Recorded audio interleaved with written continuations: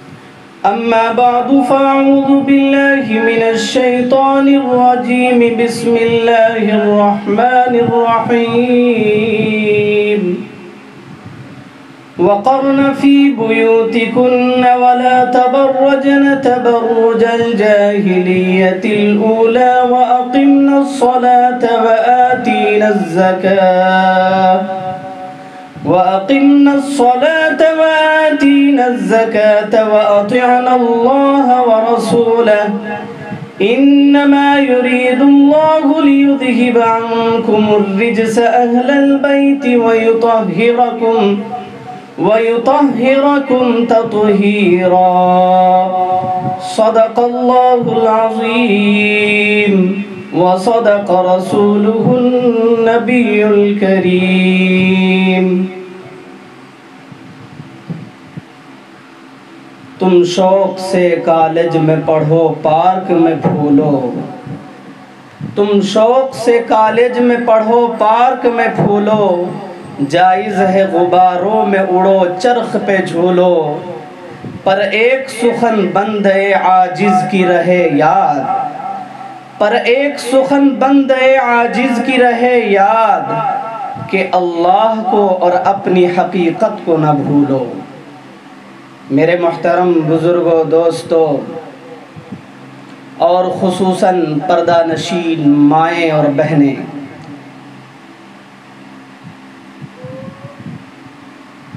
बहुत मुख्तसर वक्त में इनशा क़ुरान व हदीस से चंद गुजारिशात करूँगा। आप तमाम माओ और बहनों से गुजारिश है कि अल्लाह से दुआ करे कि नाचीज़ को सही कहने और हम सबको उस पर अमल करने की तोफ़ी अता फ़रमाए।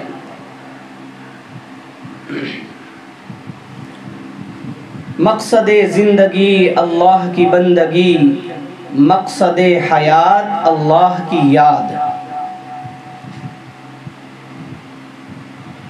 हम दुनिया में आए हैं, न हमारे आने में हमारी मर्ज़ी है और न जमा, जाने में हमारी मर्ज़ी चलेगी, बल्कि हमारा आना अल्लाह की मर्ज़ी के मुताबिक है और जाना भी अल्लाह की मर्ज़ी के मुताबिक होगा। गोया न आने में हमारी मर्ज़ी, न जाने में हमारी मर्ज़ी।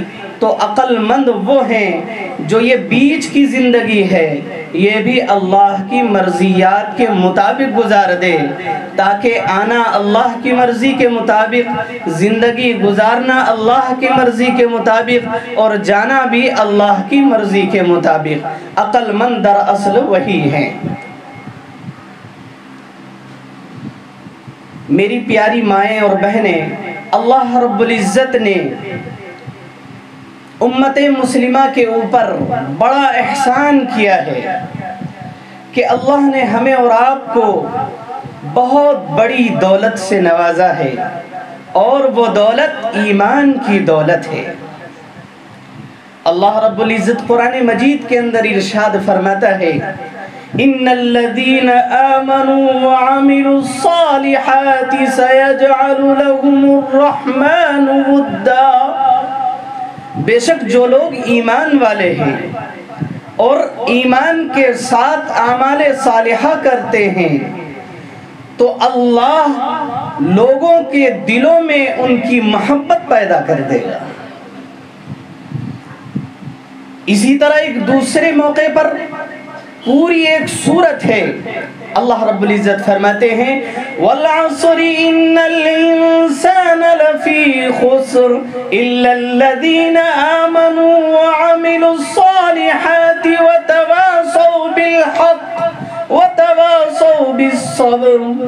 अल्लाह रब्बुल इज़्ज़त फरमाते हैं कि जमाने की कसम सारे के सारे इंसान घाटे में हैं, नुकसान में हैं। मगर वो लोग जो ईमान वाले हैं, वो घाटे और खसारे में नहीं है। पता ये चला कि ईमान की दौलत इतनी बड़ी दौलत है। अल्लाह के नबी जनाब मोहम्मद सल्लल्लाहु अलैहि वसल्लम ने इरशाद फरमाया कि जिस शख्स ने यह कह दिया, ला रसूलुल्लाह, कि नहीं है कोई माबूद सिवाय अल्लाह के। और जनाब मोहम्मद अल्लाह के रसूल हैं। यानी ईमान को कबूल कर लिया तो अल्लाह के नबी का फरमान है कि वह जन्नत में ज़रूर जाएगा। तो हमें और आपको चाहिए कि ईमान पर मेहनत करें। ईमान पर मेहनत साहबई किराम ने किस तरह की है? साहबई किराम की तारीख को पढ़ना पड़ेगा। सहाबियात की तारीख को उठाकर सीनों से लगाना पड़ेगा। जब जाकर हमारी ज़िंदगी में निखार आएगी, हमारी ज़िंदगी में ईमानी, ईमान की नूरानियत पैदा होगी। खुदा की कसम, मैं कहाँ तक बताऊँ? साहबई किराम में से एक सहाबिया है, एक सहाबिया है, एक बड़े जंग पर, एक बड़े महाज पर अल्लाह के नबी को निकलना है। सहाबाई कराम में अल्लाह के नबी ऐलान करते हैं कि मर, जितने घरों घरों में मर्द हजरात हैं, वो सारे के सारे बाहर तशरीफ़ ले आए। इसलिए कि एक महाज पर चलना है, एक जंग पर चलना है। चुनाच उसी में एक सहाबी रसूल लंगड़ाते हुए तशरीफ़ लाते हैं। और कहते हैं कि ए अल्लाह के नबी, मैं भी महाज पर जाने के लिए तैयार हूँ। अल्लाह के नबी कहते हैं कि तुम अभी इस लायक नहीं हो, तुम माजूर हो, तुम घर में बैठो, सवाब वही मिलेगा। चुनाच उस सहाबी रसूल के एक बेटे आगे आते हैं और वो सहाबी रसूल के बेटे, सहाबी रसूल अल्लाह के नबी से इजाज़त लेते हैं कि अल्लाह के हबीब मुझे इजाज़त दीजिए। अल्लाह के नबी ने बेटे को इजाज़त दे दी। बाप फ़ौरन तेज में आ जाता है और कहते हैं कि ए प्यारे हबीब, ए प्यारे पैगंबर, क्या मेरी गैरत ये गवारा कर सकती है कि बेटा जिहाद के लिए, जंग के लिए बड़े महाज पर जाए और बाप घर में बैठे? खुदा की कसम, ये दिन नहीं देखना चाहता मैं। चुनाच बहुत इसरार के बाद अल्लाह के नबी उन्हें इजाज़त दे देते हैं। वो महाज पर जाते हैं। और उस जंग में उस सहाबी रसूल की शहादत हो जाती है। वो शहीद हो जाते हैं। आगे का मसला यह है कि उस सहाबी रसूल के जिस्म को लेकर एक सवारी पर रखा जाता है ताकि मदीना मनवरा वापस लेकर जाया जाए और वहीं तदफीन हो जाए। लेकिन अल्लाह को मंजूर न था। वो सवारी, वो ऊंटनी, जिस ऊंटनी पर उस सहाबी रसूल को सवार किया जाता है, खुदा की कसम मदीने की तरफ़ वो ऊंटनी चलने को तैयार नहीं। सारे सहाबा हाँकते हैं, लेकिन जाने को तैयार नहीं। अल्लाह के नबी के सामने ये बात आती है। अल्लाह के नबी कहते हैं कि जरा घर में मालूम करो, जब ये सहाबी रसूल महाज पर आ रहे थे तो कोई दुआ तो नहीं मांगी थी। जब उसकी अहलिया मुहतरमा से मालूम किया गया तो उनकी अहलिया की जानिब से ये जवाब आया कि हाँ हाँ जब ये महाज पर जा रहे थे तो इन्होंने ये दुआ की थी अल्लाह कि मेरे प्यारे अल्लाह, मैं मर जाऊँ या मेरी ज़िंदगी हो या ना हो, मैं आप ही के रास्ते पर और इसी महाज पर शहीद होना चाहता हूँ। मैं दोबारा घर लौटना नहीं चाहता। अल्लाह के दरबार में ये दुआ मंजूर हो चुकी है। अल्लाह के नबी कहते हैं, ये दुआ कबूल हो चुकी है। अब ये जनाजा मदीना मनवरा वापस नहीं जा सकता। चुनाच उसी जगह उस सहाबी रसूल की तदफीन होती है। ऐसे ईमान वाले सहाबा कराम मौजूद हैं। क्या ईमान था उनका? ईमान पर कितनी मेहनत की थी? इसी पर बस नहीं। मेरी माए और बहनें, आप सुने, दरअसल में बताना ये चाहता हूँ कि उसी महाज पर एक सहाबिया अपने दरवाजे पर खड़ी है। ईमान का जज्बा देखिए क्या है। वो दरवाजे पर खड़ी है। झाँक रही है अल्लाह के नबी, जनाब मोहम्मद वसल्लम की निगाहें मुबारक उस सहाबिया पर पहुँचती है। अल्लाह के नबी हज़रत बिलाल हबशी रज़ी अल्लाह को ये हुक्म देते हैं कि, ए बिलाल, जरा मालूम करो माजरा क्या है। इस सहाबिया को क्या हो गया है कि ये अपने दरवाजे पर खड़ी है? चुनाच हज़रत बिलाल आते हैं। वापस अल्लाह के नबी के पास जाते हैं और डाड़े मार मार कर बिलाल रोने लगते हैं। अल्लाह के नबी कहते हैं, बिलाल, बात क्या है बताओ तो सही। हज़रत बिलाल कहते हैं, ए अल्लाह के नबी, वो सहाबिया, आपकी आशिका, वो मुत्तकिया और परहेजगार वो दरवाजे पर खड़ी है। और जब मैंने मालूम किया कि बात क्या है तो वो सहाबिया यूँ कहती है कि अल्लाह के नबी की आवाज़ मेरे कानों तक पहुँची है, कि अल्लाह के नबी ने ये फरमाया है कि घरों के अंदर जितने मर्द हजरात हैं, वो सारे के सारे बाहर आ जाए। वो औरत कहती है कि ए बिलाल, खुदा की कसम, इस बच्चे के अलावा, ये शीर खार बच्चे के अलावा मेरे घर में कोई मर्द नहीं है। इस बच्चे को ले जाओ। हज़रत बिलाल कहते हैं कि मैं आका, मैंने कहा कि ये बच्चा किस काम का है? तो वो माँ आगे बढ़कर क्या जवाब देती है? और मेरी ईमान वाली माए और बहने, सुने ईमान। की कुवत, ईमान की ताकत, ईमान की नूरानियत कहते किसे हैं? वो माँ आगे बढ़कर ये जवाब देती है, ए बिलाल हाँ हाँ ये शीर खार बच्चा किसी काम के नहीं, लेकिन मैं इतना कह सकती हूँ कि मेरे हबीब जनाब मोहम्मद सल्लल्लाहु वसल्लम के गोद में इस बच्चे को दे देना, और जब कुफारों मुशरिकीन अल्लाह के नबी पर हमला करे तो अल्लाह के नबी से कह देना कि इस बच्चे को अपना ढाल बना लेना। मेरा बच्चा कट सकता है, लेकिन मेरा दिल ये गवारा नहीं करता कि नबी को जख्म आ जाए। अल्लाह अकबर कबीरा। ऐसी ईमान वाली माए भी मौजूद थी। खुदा की कसम, जब उम्मत मुस्लिमा में ऐसी माए मौजूद होती है तो दुनिया में कोई ऐसी ताकत नहीं है जो ईमान का बाल भी बाका कर दे। इसलिए मेरी प्यारी माएँ और बहनें, आपसे गुजारिश है कि अपनी ईमान की हिफाजत करें। अपने ईमान को मज़बूत करे।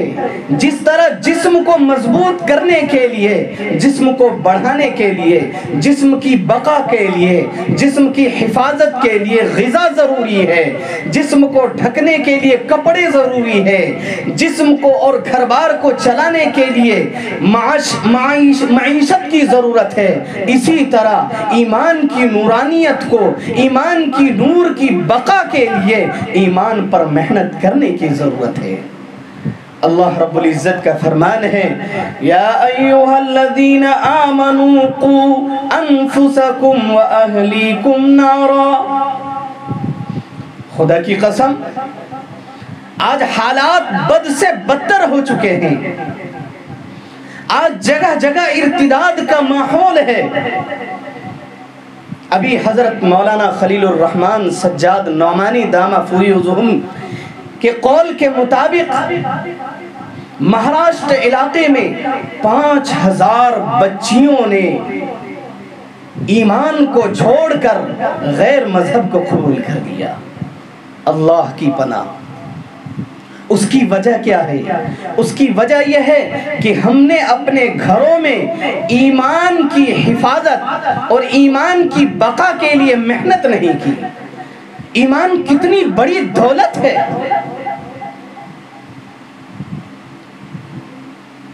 कि ईमान की दौलत, सारी दुनिया की दौलत एक तरफ़ और ईमान की दौलत एक तरफ़। खुदा की कसम, सारी दुनिया की दौलत ईमान का मुकाबला नहीं कर सकती। इसलिए अपने नस्लों की ईमान की हिफाजत करें। अपने नस्लों, अपनी नस्लों के ईमान की बका के लिए मुजतहिद हो जाएँ, खड़े हो जाएँ और उसके लिए कुछ मेहनतें करनी पड़ेंगी। किस तरह की मेहनतें करनी पड़ेंगी? अल्लाह रब्बुल इज़्ज़त का फरमान है, या अय्युहल्लदीना आमनु कु अनफुसकुम व अहलीकुम नारा। ए ईमान वालों, अपने नस्लों की हिफाजत करो, अपने घर वालों के ईमान की हिफाजत करो। किस तरह हिफाजत करेंगे? कि अगर हमारी बच्चियाँ, हमारे बच्चे स्कूल में, कॉलेज में, यूनिवर्सिटी में अगर पढ़ रहे हैं आया वो दुनिया की तालीम हासिल कर रहे हैं। कोई मसला नहीं। इस पर कोई एतराज़ नहीं। वो सारे उलूम फ़नून को हासिल करें। लेकिन याद रखे, पहली फुर्सत में उसे इस्लाम की तालीम ज़रूर दे। वरना खुदा की कसम, कयामत का मैदान होगा। बच्चे को उठाया जाएगा, नौजवानों को उठाया जाएगा और उससे कहा जाएगा, फरिश्तों को अल्लाह रब्बुल इज़्ज़त हुक्म देगा कि इसे जहन्नम में जाकर फेंक दो। इसलिए कि इसे मैंने ईमान की दौलत दी थी, लेकिन इन्होंने चंद टकों में ईमान की दौलत को बेच दिया, ईमान को फरोख्त कर दिया। मैंने इसे बगैर मेहनत के, बगैर मांगे ईमान की दौलत अदा की थी, लेकिन इन्होंने शिरक किया और अल्लाह के अलावा गैरुल्लाह की परस्तिश की। मेरे अजीजों एक एक नौजवानों को पकड़ पकड़ कर जहन्नम की आग में फेंक दिया जाएगा। लेकिन उससे पहले वो नौजवान, वो बच्चे, वो बच्चियाँ, वो औरतें खुदा की कसम चीख चीख कर कहेंगे, चीख चीख कर कहेंगे कि प्यारे अल्लाह हाँ हाँ आपने ईमान की दौलत ज़रूर अता किया था, लेकिन मेरे बाप ने सारी दौलतें हमें दी, मेरे बाप ने सारी चीज़ें मेरे लिए मुहैया कर दी, लेकिन मेरे बाप ने मेरे लिए इस्लाम की तालीम के सिलसिले में जर्रा बराबर भी फ़िक्र नहीं किया। चुनांचो उस दिन वो बच्चे और बच्चियाँ अपने वालिदेन के गिरेबान को पकड़ेंगे और अपने साथ उन वालिदेन को जो नमाजी, हाजी, गाजी होंगे, उन तमाम को ले जाकर के जहन्नम में फेंक देंगे। इसलिए मेरे अजीजों, मेरी माओ और बहनों, अपने ईमान की सलामत के लिए अल्लाह से हमेशा दुआएँ क्या करें। हालात इससे पहले भी बहुत आए हैं। याद रखें, हालात मदीने में भी आया था, हालात मक्के में भी आए थे। क्या आपको पता नहीं, हालात इतने बद से बदतर हो गए थे। हाल ये था, हाल ये था कि अब ईमान वाले दम तोड़ देंगे।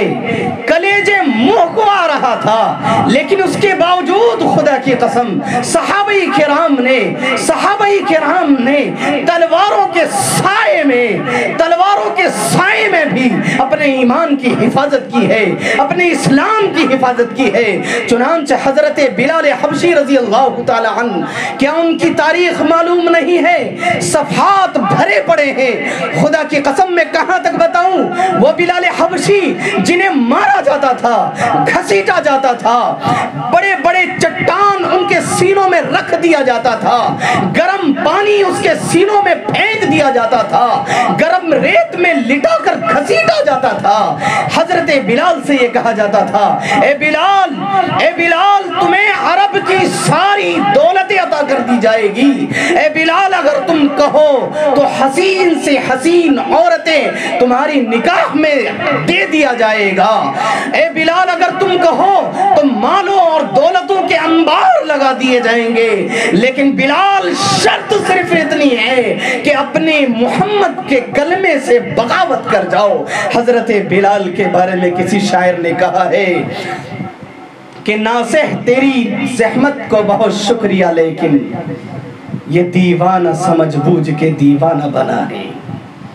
हज़रत बिलाल कहते हैं, ईमान का सौदा, ये बहुत बड़ी बात है। खुदा की कसम, मेरे नबी ने अदना सा तरीका जो इस तिंजे में ढेले की तरतीब बताई है, मैं उस तरतीब को भी बदलने के लिए गवारा नहीं कर सकता। क्या ईमान की दौलत थी? क्या ईमान की नूरानियत थी उन साहबई किराम में? इसलिए मेरे अजीज़ों, मेरी माँ और बहनों, अपने ईमान की फ़िक्र करें। पहली बात, हमें और आपको चाहिए कि ईमान को मज़बूत करे। उसके बाद आमाल सालिहा का नंबर है। इन लदीन आमनु, बेशक वो लोग जो ईमान वाले हैं। और साथ में आमाल सालिहा करते हैं। उनकी मोहब्बत अल्लाह रब्बुल इज़्ज़त दूसरों के दिलों में पैदा कर देता है। आमाल सालिहा में मैं मुख्तसरन बताऊँ, आमाल सालिहा कहते हैं कि अल्लाह की मर्जियात के मुताबिक ज़िंदगी गुजारना। वो तमाम काम करना, उन तमाम कामों को अंजाम देना जिससे रब राज़ी होता है। एक मुत्तकी और परहेजगार औरत का वाकया जहन में आया।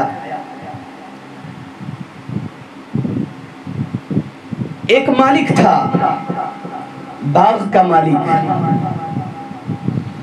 उस बाग में एक माली और मालन।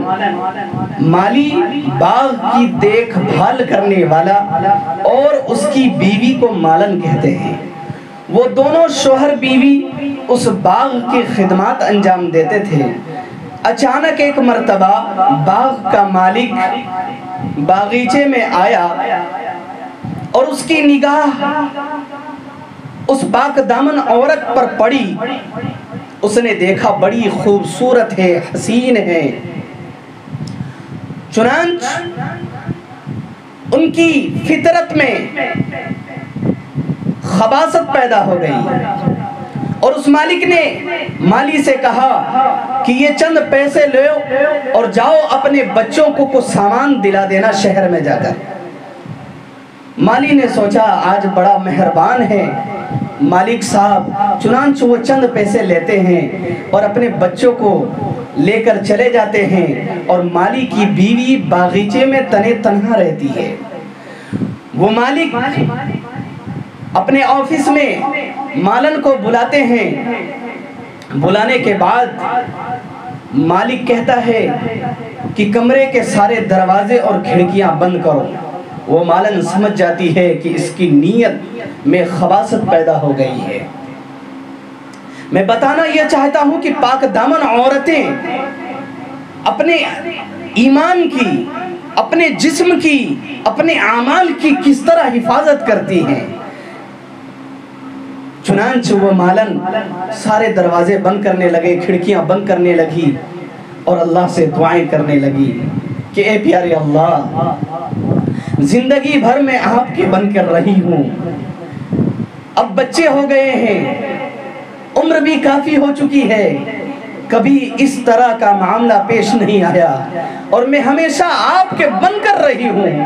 आज ये कैसा इम्तिहान है? आज ये कैसा इम्तिहान है? दिल दिल से वो पाकिजा और पाक दामन औरत दुआ भी कर रही है। मालिक गुस्सा हो जाता है और कहता है कि मालन, तुम्हें क्या हो गया है? एक दरवाज़ा और चंद खिड़कियाँ बंद करने में इतनी ताखीर क्यों? वह मालन जवाब देती है कि मालिक, वो सारे खिड़कियाँ और वो दरवाज़ा मैं बंद कर चुकी हूँ। जिस खिड़कियों से और जिस दरवाजे से मखलूक देखा करती है, लेकिन वो खिड़कियाँ मुझसे बंद नहीं हो रही है। जिस खिड़कियों से, जिन खिड़कियों से परवर दिगारे आलम देखा करता है। वो मालिक भी तेज में आ जाता है और उसके सामने उसके पैर में आकर गिर जाता है और कहता है पाक दामन औरत, क्या जवाब दी तुमने? मुझे माफ़ कर दो, मुझे माफ़ कर दो। अपने प्यारे रब से मेरे लिए भी दुआएँ कर दो। चुनाच वो मालिक भी उसी वक्त मुत्तकी और परहेजगार बन जाता है।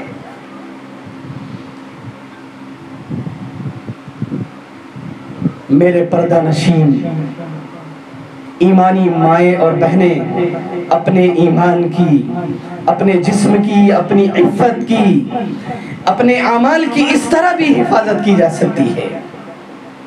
इसलिए हमें और आपको चाहिए कि इस तरह ज़िंदगी गुजारे कि रब राज़ी हो जाए। खुदा की कसम, सारी ताकतें तुम्हारे पैरों में आके गिर जाएँगी अगर वो खुदा राज़ी हो जाए। और अपनी अपनी नस्लों की किस तरह हिफाजत करेंगी? इस सिलसिले में बहुत ही मशहूर वाकया बायजीद मुस्तामी अलैह की माँ के बारे में मैं कहना चाहता हूँ। बायजीद मुस्तामी एक बहुत बड़े बुज़ुर्ग गुजरे हैं, बहुत बड़े अल्लाह वाले गुजरे हैं, जिनकी दुआएँ हमेशा कबूल हुआ करती थी। वो बायजीद मुस्तामी इतने बड़े अल्लाह वाले बने कैसे? उनके वालिद दुनिया में मौजूद नहीं थे। वो यतीम थे। वालिदा के दिल में ये तड़प पैदा हुआ कि अपने बच्चे को बड़ा आदमी बनाना चाहिए। चुनांच अपने बच्चे को यूँ उंगली पकड़ कर लेती है। और एक पहाड़ी इलाके में एक मदरसा था, एक मकतब था, उस जानब लेकर चलने लगती है। बायजीद मुस्तामी छोटा बच्चा वह कहता है, अम्मी जान कहाँ जा रही है? अम्मी कहती है, बेटा, मैं तुम्हें बड़ा इंसान बनाने के लिए, एक मदरसे में दाखिले के लिए ले जा रही हूँ। चुनाच वहाँ पहुँचती है। वो माँ कहती है, उस्ताद से, कि यतीम बच्चा है। मैं चाहता हूँ कि अल्लाह का कलाम ये हिफज कर ले, अल्लाह के कलाम के मुफसर बन जाए, बड़ा आदमी, बड़ा इंसान बन जाए, अल्लाह का वली बन जाए। चुनान जो उस्ताद उनका दाखिला ले लेते हैं, लेकिन माँ ये कहती है कि आप इन्हें घर न भेजें वरना अगर ये घर जाएँगे तो मेरी मोहब्बत दिल में पैदा होगी। फिर वो मोहब्बत हो सकता है कि पढ़ाई में मुजिर पैदा करे। चुनाच माँ वापस आ जाती है। वो बच्चा पढ़ने लगता है। अचानक एक मर्तबा जुमेरात का दिन रहा होगा। बच्चे के दिल में माँ की मोहब्बत जाग उठती है और दिल में ये ख्याल पैदा होता है कि माँ से मुलाकात करनी चाहिए। उस्ताद के पास जाते हैं कि उस्ताद जी, मुझे छुट्टी चाहिए, माँ की याद आ रही है। उस्ताद ने कहा कि बेटा, तुम्हें अगर छुट्टी चाहिए तो तुम्हें पाँच सफे सबक सुनाने पड़ेंगे। यानी इतना सबक बढ़ा दिया कि ना वो बच्चा सुना सकता है, ना छुट्टी मिल सकती है। लेकिन बायजीद बुस्तामी बचपन ही से बुज़ुर्ग थे। ऐसी माँ की परवरिश में वो रहते थे। चुनाच मस्जिद के कोने में बैठ गए और अल्लाह से दुआएँ करने लगे कि प्यारे, अल्लाह आप जानते हैं, मेरी माँ की मोहब्बत मेरे दिल में कितनी तड़प हो रही है। माँ को देखने के लिए कलेजा मुँह को आ रहा है। ए प्यारे अल्लाह, आप तो जानते हैं, सबक याद करवा दीजिए। चुनाच वो बच्चा सबक याद करता है। खुदा की कसम, जितने असबाक थे वो सारे याद कर चुके थे। सुबह होती है, सुबह होती है। उस्ताद के पास जाते हैं, वो सारे असबाक बगैर अटक फटक के वो सारे असबाक सुना देते हैं। बच्चा कहता है कि उस्ताद मोहतरम, मैंने इसबाक सुना दिए। आप मुझे छुट्टी दे दीजिए। शर्त यही थी, चुनाच उस्ताद ने छुट्टी दे दी। वो बच्चा वापस अपने घर को आता है। अब मामला देखिए, तरबियत क्या थी? मगरिब का वक्त है। शाम को छुट्टी हुई थी, मगरिब का वक्त है। माँ वज़ू बना रही है। दरवाज़ा बंद है। बाहर से बायजीद बुस्तामी कहते हैं कि मैं बायजीद बुस्तामी हूँ। दरवाज़ा खोलिए। तो अंदर से माँ की आवाज़ आती है। कौन बायजीद? एक मेरा भी बायजीद है, जिसको मैं मदरसे में भेजी हूँ। और मेरा बायजीद जब तक बड़ा इंसान नहीं बन जाए, जब तक अल्लाह का वली न बन जाए, मेरा बायजीद नहीं आ सकता। तुम कौन से बायजीद हो? बायजीद के दिल में फ़ौरन ये बात आई और वो समझ गए कि लगता है जिसके लिए माँ ने मेरा दाखला मदरसे में किया था कि बड़ा इंसान बनना है, अल्लाह का वली बनना है। लगता है वक्त से पहले मैं घर आ गया हूँ। चुनाच वो बच्चा वहीं से वापस मदरसे को जाता है। उसके बाद माँ नमाज़ में बैठती है और अल्लाह से दुआएँ करती है के प्यारे अल्लाह शाम का वक्त है। आप जानते हैं, शाम के वक्त में एक अजनबी दूसरे अजनबी के लिए अपना दरवाज़ा खोल देता है। एक अजनबी को ठहरने के लिए अपना कमरा दे देता है। ए प्यारे अल्लाह, ये माँ की ममता है। आप जानते हैं, मैंने किस जज्बात को कुर्बान किया हूँ आपके रास्ते में। ए प्यारे अल्लाह, इस जज्बात के वास्ते माँ की ममता के वास्ता ए प्यारे अल्लाह, मेरे बायजीद को आप अपना वली बना लेना। चुनाच वो बायजीद जाता है और उस वक्त वापिस आता है जब बायजीद अल्लाह का वली बन जाता है। तो इस्लाम की ऐसी माए थी तो बायजीद बस्तामी पैदा होते थे। जब इस्लाम की माओ में इफ्फत थी, हया थी तो खुदा की कसम इमाम गजाली पैदा हुआ करते थे, सलाहुद्दीन अयूबी पैदा हुआ करते थे। जब माए अपने मुसल्ला को, अपनी आँखों के आँसू से भिगो दिया करती थी, उस वक्त तो इमाम कासिम नानवी पैदा हुआ करते थे और पूरी दुनिया में एक इल्म नबूवत का चराग जलाया दिया करते थे। लेकिन आज की माए अपनी अक्सरियत औकात वो मोबाइलों में गुजारती है। आज की माए वो गाने सुनती है। आज की माए वो फ़िल्में देखती है। आज की माए सिनेमा देखती है। इसलिए आज की औलाद भी किसी एक्टर की तरह बनता है। खुदा की कसम, ए मेरी माओ, मैं, मेरी बहनों, मैं आपका पाँव पकड़ कर ये कहना चाहता हूँ, ये दरखास्त करना चाहता हूँ, अगर आज भी आप जैसी माए ये ठान ले और ये आहद कर ले कि इंशाअल्लाह वक्तों को अब इमाम गजाली देना है तो आप ही दे सकती है। इसलिए कि आप ही वो पहला मदरसा है, जहाँ से इमाम गजाली पैदा हो सकते हैं, सलाहुद्दीन अयूबी पैदा हो सकते हैं। आप अपने घर को पहले जन्नत नुमा बनाए, आप अपनी औलाद की सही तरबियत करें। आप जिस वक्त हमल में बच्चे हो, उस वक्त आप तहजद गुजार बनिए। रात को उठकर अल्लाह से दुआएँ मांगे, अल्लाह से अल्लाह का वली मांगिए खुदा की कसम जब बच्चा पैदा हो जाए, उस वक्त उस बच्चे को बावजू आप दूध पिलाए। इंशाअल्लाह, अगर इस नीयत के साथ आप अपनी औलाद की तरबियत करेंगे तो आज भी अल्लाह रब्बुल इज़्ज़त इस रुए ज़मीन में मौलाना कासिम नानोती पैदा करेंगे, रशीद अहमद गंगोही पैदा करेंगे, इमाम बुखारी और इमाम मुस्लिम पैदा करेंगे। कि आपको पता नहीं? बस आखिरी और मुख्तसरन बताता ज़रूर। इमाम बुखारी रहमतुल्लाह अलैह, वो नाबीना हो चुके बचपन ही में नाबीना हो जाते हैं। माँ के अंदर एक तड़प पैदा होती है, मुसल्ला बिछाती है, अल्लाह के दरबार में हाजिर होती है। इमाम बुखारी की माँ ये दुआ करने लगती है, ए प्यारे अल्लाह, ए प्यारे अल्लाह, मैंने इस बच्चे का नाम मोहम्मद रखा हूँ। सिर्फ़ इसलिए कि आपके असली मोहम्मद के हदीसों का खादिम बन सके। मैं तो इसे खादिम बनाना चाहता हूँ। खादिम हदीस बनाना चाहता हूँ। अगर ये नाबीना हो जाएगा तो आपके नबी की हदीस की खिदमत कैसे अंजाम देगा? खुदा की कसम, माँ की ममता माँ की दुआओं का नतीजा ये होता है कि अल्लाह रब्बुल इज़्ज़त हज़रत इमाम बुखारी को बीनाई अता कर देता है। और इमाम बुखारी वक्त के मुहद्दिस, इतने बड़े मुहद्दिस बनते हैं कि जब तक एक आलिम बुखारी शरीफ को इमाम बुखारी की किताब बुखारी शरीफ को न पढ़ ले, उस वक्त तक वो मुकम्मल आलिम नहीं कहलाया जा सकता। पता ये चला कि माओ की जब दुआएँ कबूल होती है और वो अपनी औलाद की तरबियत करती है तो बड़े से बड़े अल्लाह के अवलिया पैदा होते हैं। मेरी उम्मत की माएँ और बहनें आपसे बेइंतहा गुजारिश है कि अपने औलाद के ईमान और आमाल सालिहा के लिए मेहनत करें। अल्लाह हमें इन बातों पर कहने आपको सुनने से ज़्यादा अमल करने की तोफ़ी अता फरमाए। वमा अलैना बलाग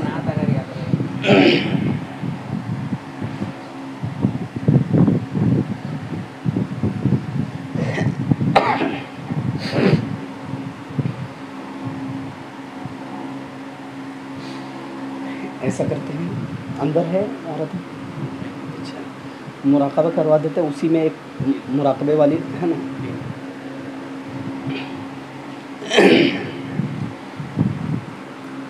आपसे गुजारिश है, अब दुआएँ होंगी, जैसी सहूलत हो वैसे बैठ जाएँ और अपने सर को झुका लें और मुराकबा करें। दो तीन मिनट का मुराकबा। मुराकबा का तरीक़ा ये है कि सर को झुका ले। और ज़िंदगी में जितने गुनाह किए हैं, उन तमाम गुनाहों को अपने सामने रखे और अपने प्यारे अल्लाह से इस बात की दरख्वास्त करें कि प्यारे अल्लाह, इन तमाम गुनाहों को माफ़ कर दीजिए और आइंदे की ज़िंदगी को अपनी मर्जियात के मुताबिक गुजारने की तोफ़ी अता फरमा दीजिए और ऐसी कैफियत बना लीजिए, गोया कि दिल कह रहा है, अल्लाह अल्लाह। अल्लाह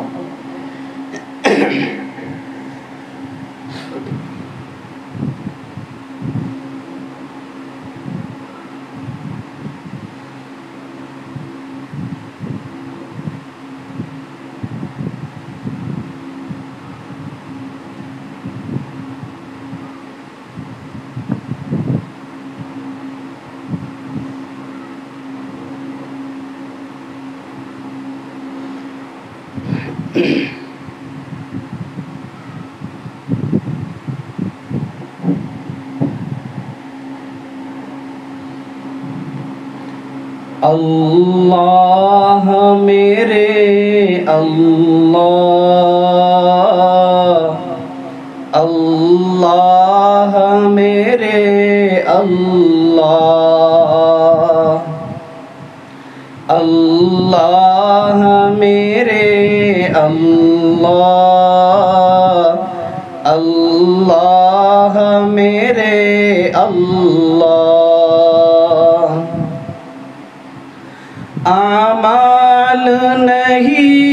कुछ भी ये हाल हमारा है। आमाल नहीं कुछ भी ये हाल हमारा है। एक तेरी रहमत का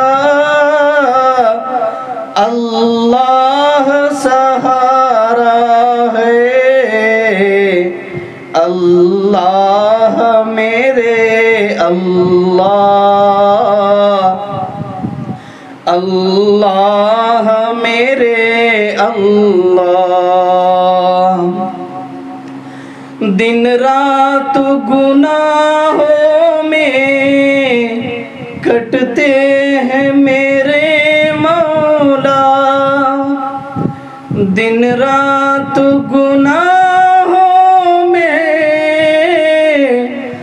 कटते हैं मेरे मौला। बदकार है मुजरिम है। शैतान ने मारा है।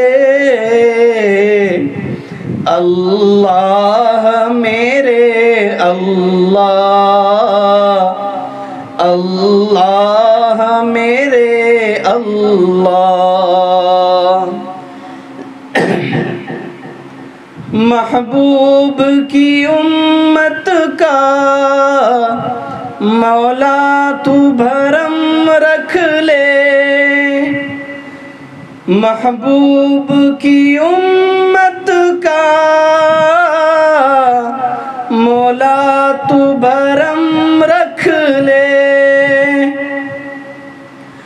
महबूब की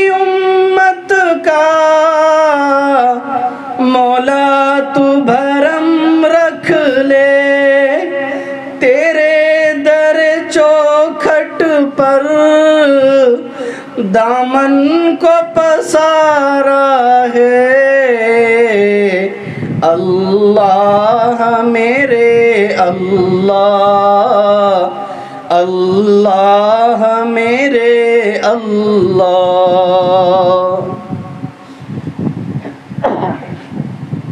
हाथ उठा लीजिए, दुआएँ कर लीजिए।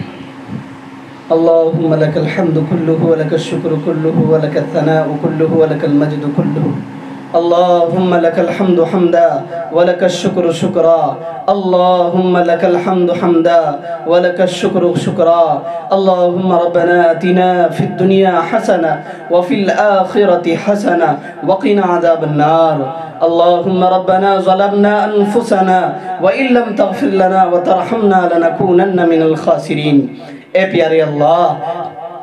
हम इस बात की इकरार करते हैं कि आप ही हमारा रब है।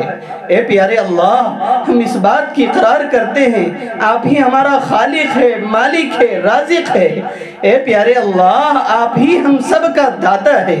ए प्यारे अल्लाह, हम इस बात की इकरार करते हैं, आप ही हमारा रब है। ए प्यारे अल्लाह, हम इस बात की भी इकरार करते हैं कि आप ही हमारा अल्लाह है। ए प्यारे अल्लाह, आपके अलावा कोई इबादत के लायक नहीं। ए प्यारे अल्लाह, हम इस बात की भी करार करते हैं। हम बड़े गुनहगार, ख़ताकार, सियाकार, बदकार हैं। ए प्यारे अल्लाह, दिन के उजाले में, रात के अंधेरे में, जाने अनजाने में बहुत गुनाह कर चुके हैं। ए प्यारे अल्लाह, हम तो गुनाहों के समंदर में डूब चुके हैं। ए प्यारे अल्लाह, रहमत की रस्सी डालकर हम सबको बचा लीजिए। ए प्यारे अल्लाह, रहमत की रस्सी डालकर हम सबको बचा लीजिए। ए प्यारे अल्लाह, गुनाह इतने कर चुके हैं कि पाँव से लेकर सर तक और सर से लेकर पाँव तक एक हिस्सा भी नहीं, नाखून के बराबर भी नहीं बचा है कि हमने गुनाह नहीं किया। ए प्यारे अल्लाह, ज़मीन से लेकर आसमान तक हमने गुनाह कर कर करके, ए प्यारे अल्लाह, हमारी कमर बोझल हो गई, हमारे पाँव बोझल हो चुके हैं, हमारी ज़ुबान माफ़ हो चुकी है। ए प्यारे अल्लाह, हम थक चुके हैं। ए प्यारे अल्लाह कब तक गुनाहों में ज़िंदगी गुजारेंगे? ए प्यारे अल्लाह, ए प्यारे अल्लाह तो हमारे ईमान के साथ खिलवाड़ हो रहा है। हमारे अमाल के साथ खिलवाड़ हो रहा है। हमारे हिजाब के साथ खिलवाड़ हो रहा है। हमारी नमाजों के साथ, हमारी मसाजिद के साथ, हमारे मकातिब और मदारिस के साथ खिलवाड़ हो रहा है। ए प्यारे अल्लाह, ए प्यारे अल्लाह, आप सारी कायनात का मालिक है। ए प्यारे अल्लाह, आप मुकल्लिबुल कुलूब है। आप दिलों को बदलने वाले हैं। प्यारे अल्लाह, आप दिलों के भेद से वाकिफ हैं। ए प्यारे अल्लाह, हम सब के मांगने को कबूल फरमा लीजिए।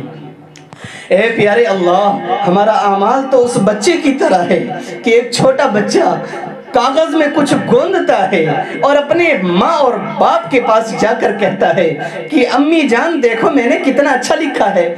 अब्बा जान, मैंने क्या लिखा है? माँ जानती है कि सिर्फ़ गोंद रखा है, कुछ भी नहीं लिखा। बाप भी जानता है कि कुछ भी नहीं लिखा।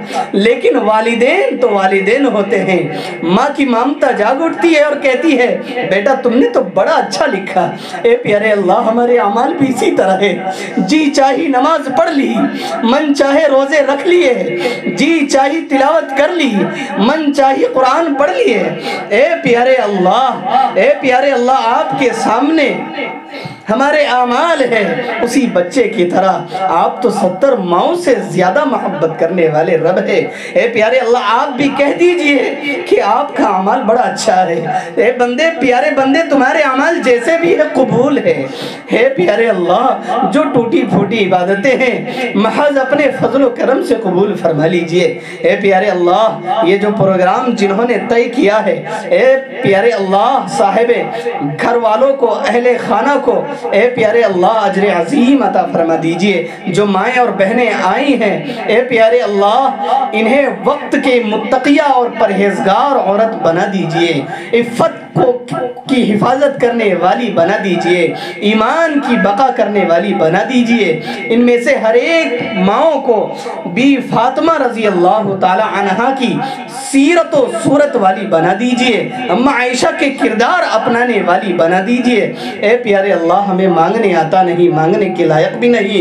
ए प्यारे अल्लाह, इस पूरे शहर को कबूल फरमा लीजिए, पूरे इलाके को कबूल फरमा लीजिए, पूरी उम्मत मुस्लिमा को कबूल फरमा लीजिए। सुबहान रब्बिक रब्बिल इज्जति अम्मा यसिफून अगर वीडियो अच्छी लगी तो लाइक करें और तमाम दोस्तों को शेयर करें।